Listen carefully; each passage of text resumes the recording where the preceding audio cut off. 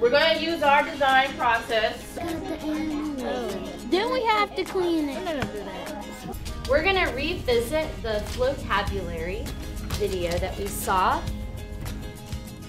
Beaufort County offers three options for AMES. St. Helena Elementary, Bufordale, and Pritchardville Elementary School. Well, AMES is our advanced math, engineering, and science program that um, is comprised of our GT students and our higher achieving students. Today we're going to do uh, an activity with oil spills. At Pritchardville, all of our students in the AMES program are identified as gifted and talented. So while parents are considering the option for their child to come into AMES, it is important to note that AMES is the program that serves our identified gifted and talented students. When I think of the AMES program being different from the traditional classroom, I think about that we move at a more accelerated pace and we do um, incorporate a lot of projects and hands-on experiences for our students. I like that we get to do projects and like we don't get to just, we don't just do a little bit easy stuff. We actually get to be challenged. And think about what our focus maybe? And so typically we do more experiments and projects than the other classes do, and we have a more challenging and we have higher expectations. When he came into AMES, I felt like I was learning a lot too because he's got, you know, he's got, he's been getting so many projects and I'm like, oh wait, why? I don't remember any of that. So it's, it's, I feel like he's learning a lot more. I focus a lot on the engineering process and teaching kids to think. A lot of higher order thinking questions and using hands-on activities in our investigations that we do in the science classroom. Who can tell me what it means when we harm the surface of the earth? AMES is really a framework for instruction. It's a framework that's based on acceleration. It's a framework that's based on understanding the needs of the gifted and talented student.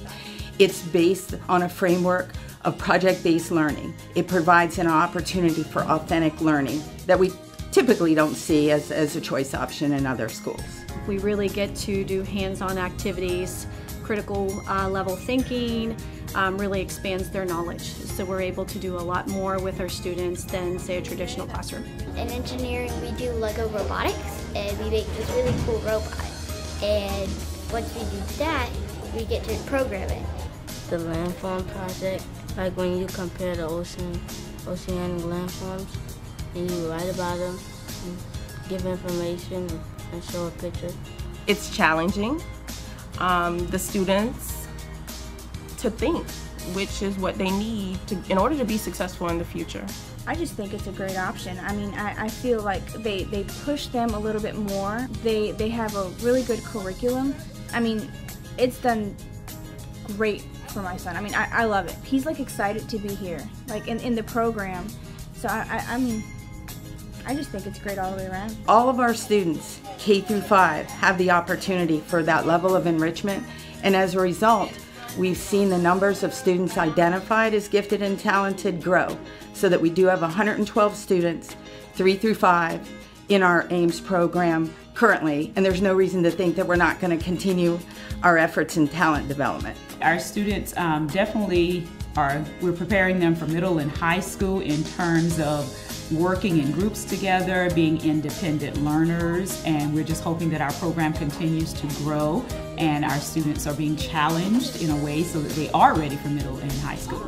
The kids love the AMES projects. The number one thing that I get back every year is the projects. They remember the projects. They remember doing um, all the fun activities and it really makes a learning connection for them. And then our next step is what in the process?